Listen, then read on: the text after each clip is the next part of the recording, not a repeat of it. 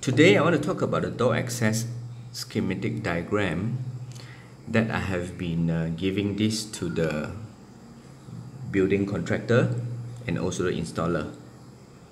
As you can see here, this is for two lift door and the gray area here is above the ceiling that mainly the building contractor has to do all the cabling and leave it on top of this ceiling and uh, bring it down to the door side yeah and also to the reader side as well.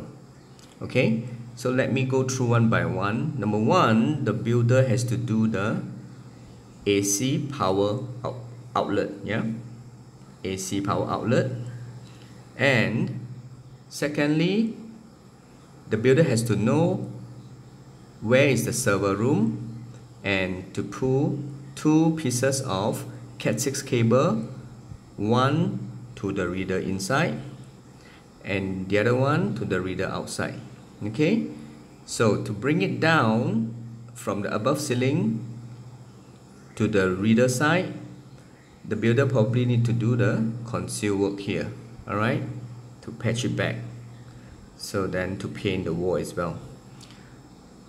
And following with the fire alarm relay the installer will provide this. As you can see from the legend color here, the blue color is provided by the installer and the yellow color is provided by the builder.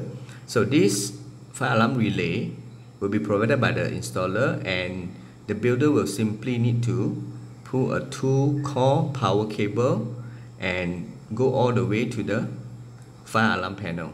Alright, the usually the fire alarm panel will provide 24 volt DC power when there's any fire incident.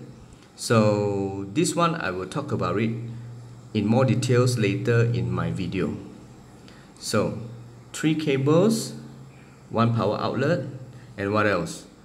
The builder has to pull two pieces of 4 core alarm cable so total will be 8 core and in this diagram we actually need only 5 core. Two core for the reader power and one core for the COM cable to connect to the power supply. You can probably refer back to the part 1 video which I'm going to give the link below that there's one piece of or one core of cable to connect to the power supply here. So the reader will take up three piece three core of the um, alarm cable.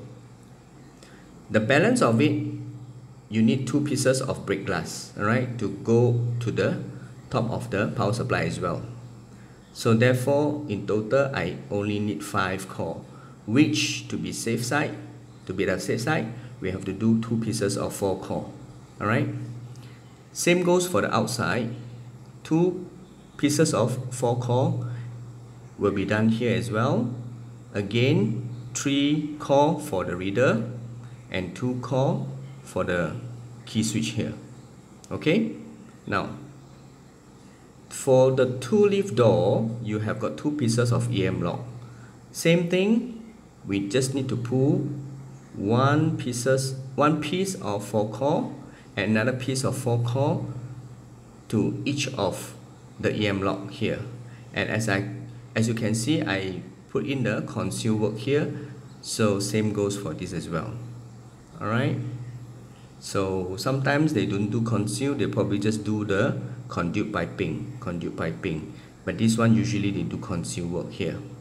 Okay, so why do we need four core here? Because two core for the power, right? Same goes to this EM lock, two core for the power. Another two core is probably you need to do for the um, buzzer, EM lock buzzer when the door is not closed after certain time like for example 5 seconds then the buzzer will sound. So to be safe we have another two core standby for the door contact. In order to give the buzzer sound if the door is not closed after 5 seconds for example. So the builder will simply just leave everything here yeah to leave them on top of the ceiling okay? And the installer will then come and join all this cable into the power supply okay? Which you can refer back to the video that I have already um, uploaded into YouTube the part 1 and 2 and 3 okay?